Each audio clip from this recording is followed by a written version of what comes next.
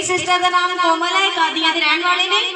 ਇਹਨਾਂ ਦੀ ਗਵਾਹੀ ਇਹਨਾਂ ਦੇ ਹਸਬੰਡ ਦੀ ਹੈ ਕਿ ਪਿਛਲੇ ਕੁਝ ਸਮੇਂ ਤੋਂ ਇਹਨਾਂ ਦੇ ਹਸਬੰਡ ਫੋਰਨ ਦੀ ਕੰਟਰੀ ਵਿੱਚ ਗਏ ਸੀ ਔਰ ਉੱਥੇ ਉਹਨਾਂ ਨੂੰ ਅੱਗੇ ਜਾ ਕੇ 2 ਮਹੀਨਿਆਂ ਤੋਂ ਕੋਈ ਵੀ ਜੋਬ ਨਹੀਂ ਸੀ ਮਿਲੀ ਔਰ ਪਿਛਲੇ ਸੰਡੇ ਇਹਨਾਂ ਨੇ ਪ੍ਰਭੂ ਦੇ ਦਾਸ ਤੋਂ ਪ੍ਰਾਰਥਨਾ ਕਰਵਾਈ ਔਰ ਸੱਚਮੁੱਚ ਪਰਮੇਸ਼ਵਰ ਇਹਨਾਂ ਦੀ ਪ੍ਰਾਰਥਨਾ ਨੂੰ ਸੁਣਿਆ ਔਰ ਮੰਡੇ ਨੂੰ ਹੀ ਇਹਨਾਂ ਦੇ ਪਤੀ ਨੇ ਜੋਬ ਨਾਲ ਬਲੈਸ ਕੀਤਾ ਹੈ ਕਲੀਸਿਆ ਤਾਰੀਫ ਕਰੀਏ ਜ਼ੋਰ ਨਾਲ ਇਸ ਗਵਾਹੀ ਕਰੇ ਨਾਰਾਮਤੀ ਚੁੱਪ ਜਾ